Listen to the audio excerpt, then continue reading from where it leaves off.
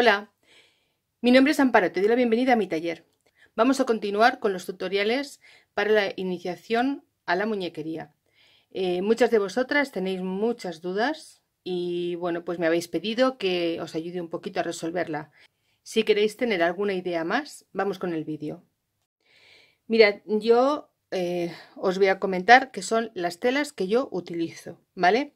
En el tema de muñequería hay muchísimas telas. Hay eh, tejidos especiales para hacer muñecas. Hay mm, unos colores específicos para hacer muñecas. Hay muchísima variedad. Buscar la que más os interese. Yo os voy a decir los tejidos que yo utilizo y cómo los utilizo.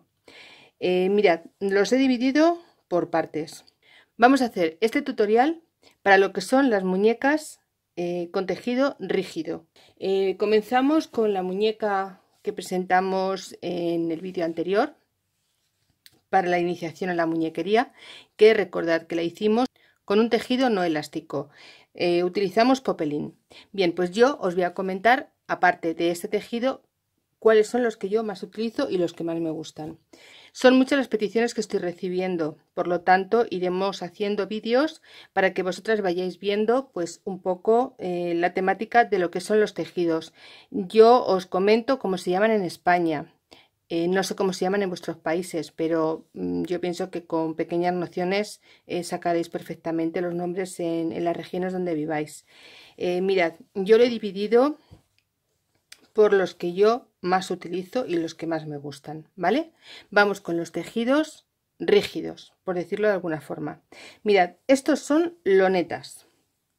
Quiero acercarlo a cámara porque quiero que veáis que, em, aunque son lonetas, tienen diferente tamaño de gramaje. Mirad, esta tiene un hilo transversal, un poquito finito, esta prácticamente es inapreciable. No sé si así o así lo vais a ver mejor. Y esta es, dentro de los finitos, es un poquito más grueso. ¿Veis? Siendo lonetas, son distintas, completamente diferentes. Eh, por los tonos no, os fijéis mucho. Eh, yo siempre eh, suelo utilizar el tejido beige, tejido neutro, porque me permite incluso hacerle tintes naturales, tintes con té y a partir de ahí también, que lo haremos en siguientes tutoriales, veréis como el mismo tejido, según con qué té vayamos a, utilizar, vamos a modificar completamente el color. Bien, pues de estos tres eh, gramajes, yo les llamo así, yo les llamo el gramaje del tejido, eh, normalmente utilizo este, porque es el que menos eh, se nota a la hora de dibujar sobre todo la carita. ¿Veis? Es que es prácticamente inapreciable el tejido, es que casi ni se ven los, las tramas de los hilos, no se ve nada. Esta eh, tiene un poquito de brillo, muy poquito, pero tiene un poquito de brillo. Sin embargo, me gusta porque también es muy finito. Lo que es eh, la trama del hilo es muy delgadita y también me gusta.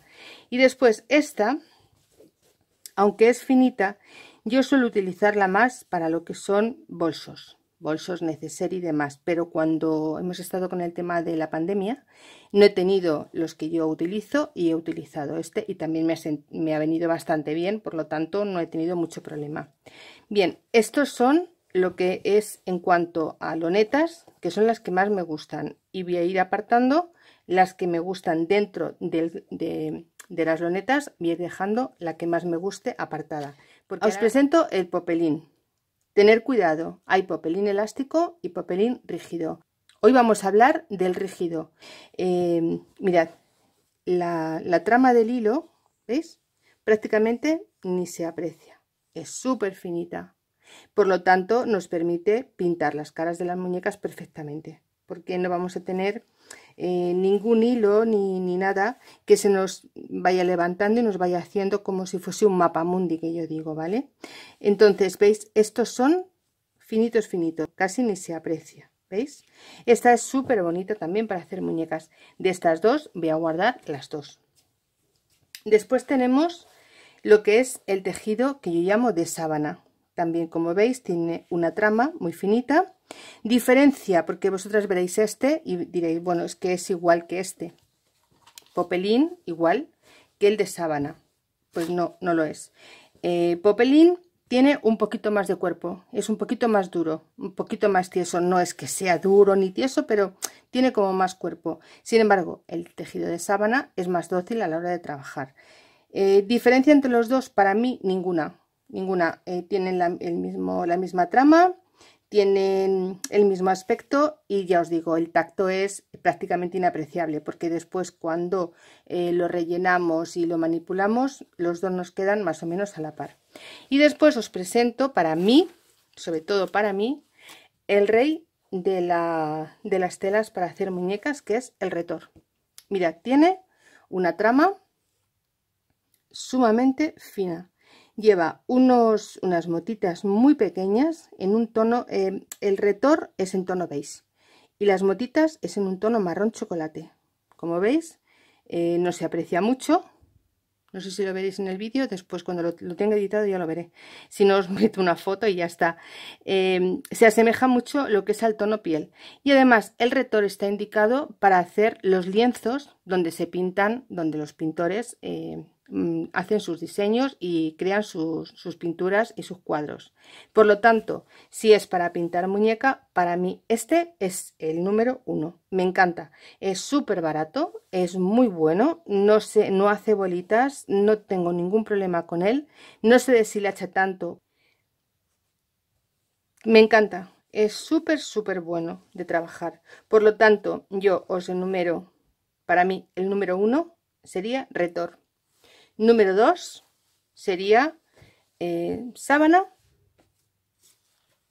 Eh, después sería popelín en el número 3 y en el número 4 indiscutiblemente la loneta indiscutiblemente pero la loneta ya os digo la que tiene una trama súper súper fina no la que tiene la trama más gruesa esta, si no tenemos otro tejido, podemos utilizarlo, pero ya os digo, yo esta es la gama de tejido que más utilizo. Después me habéis preguntado también por el tema de marcaje y de, bolígrafos que empleo. Mirad, estos son mis bolígrafos. Los recambios. Eh, tenemos un montón de colores diferentes y sobre todo que la punta es muy muy finita. Es de eh, creo que eran 7 milímetros. Lo he visto por algún sitio. Sí de 7 milímetros. Es una punta muy fina muy delgada y nos permite hacer eh, ajustar mucho eh, lo que son las las marcas. Sobre todo veis a la hora de hacer, pues, pintar las caras o marcar, por ejemplo, algún ojal. Alguna cosita así, súper fina, nos permite hacerlo eh, de una forma muy, muy precisa. Eh, me habéis comentado que no los encontráis. Eh, yo sé que los venden en, en tiendas de manualidades y también los venden por Amazon y por AliExpress. Yo los compro en los bazares.